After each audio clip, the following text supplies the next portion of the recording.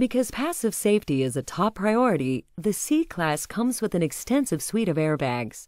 Standard for the C Class are two front and two front side airbags, two side curtain airbags, two front pelvic side airbags, and one driver knee airbag for nine total. But as the curtain airbags cover both front and rear side windows, the C Class actually provides 11 points of airbag protection.